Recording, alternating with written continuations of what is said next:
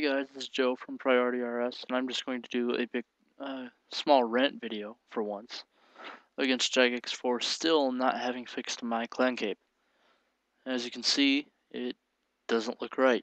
Nobody's looks right. A lot of people want their clan capes working again, including me. How can I show off my clan if I can't even let them see what the clan cape actually looks like? The clan cape is important. It's essential to any clan because it shows who your clan is. How can I go around with this cape? It doesn't look like my Vexillum. It looks kind of disgusting, really. So I have to wear my runecrafting cape all the time, which, I mean, I love the runecrafting cape and all. It's a nice cape, but I prefer my clan cape if it would work again.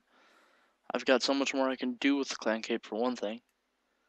Uh, it's good advertising for when I'm around people don't even know that I'm in a clan half the time anymore because I never wear my clan cape because Jagex made this thing look horrible.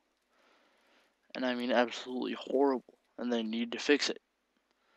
They've started fixing some of the other capes, but how hard would it be to revert the clan cape to its old graphics?